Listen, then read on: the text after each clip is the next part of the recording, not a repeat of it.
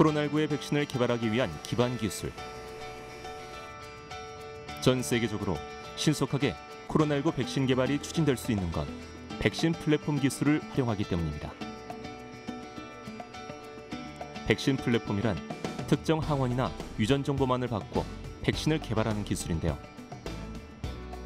코로나19 백신은 이 백신 플랫폼 기술을 적용한 RNA 백신, 바이러스 벡터 백신, 그리고 제조합 백신 등으로 구분할 수 있죠. 화이자사와 모더나사의 백신은 RNA 백신입니다. 바이러스를 직접 체내에 넣어 면역 반응을 유도하는 것이 아니라 바이러스의 유전 정보를 담고 있는 RNA를 인체에 투입하는 방식인데요. 세포 안에선 이와 같은 항원 설계도를 통해 코로나19의 스파이크 단백질이 형성됩니다.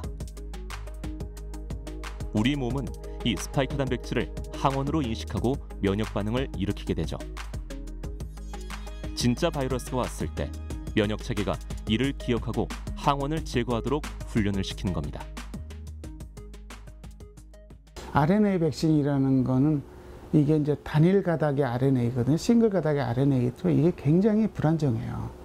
제조 방법도 쉽고 단기간에 대량을 생산할 수 있는 장점은 있지만은 이게 우리 몸속에 투여를 하면은 단일 가닥의 RNA이기 때문에 RNA 분해하는 효소가 우리 몸에 너무 많아요. 그래서 굉장히 이게 잘 분해가 되는 거죠. 그러면 효과가 안 나타나니까 그만큼 안정성, stability라고 그러는데 안정성이 떨어지기 때문에 아까 말씀드린 대로 마이너스 70도씨에 보관하는 콜드 체인이 필요하다는 게 가장 큰 좀 단점이다 할 수가 있는 거고 아스트라제네카와 얀센사의 백신은 바이러스 벡터 백신입니다. 바이러스 벡터란 DNA나 RNA와 같은 유전 물질을 세포에 주입하기 위해 사용하는 운반체 혹은 전달체를 뜻하는데요. 항원 유전자인 코로나19의 스파이크 단백질 유전자를 체내로 운반하는 건 아데노바이러스입니다. 침팬지만 감염되는 아데노바이러스를 재조합해서 인체에 무해하도록 만든 다음 바이러스에 스파이크 단백질 유전자를 삽입해 전달체로 사용하는 겁니다. 두 개의 서로 다른 병원체의 요소를 사용하는 바이러스 벡터 백신. 체내로 들어온 스파이크 단백질 유전 정보는 항원 단백질을 형성하며 면역 반응을 유도하는데요.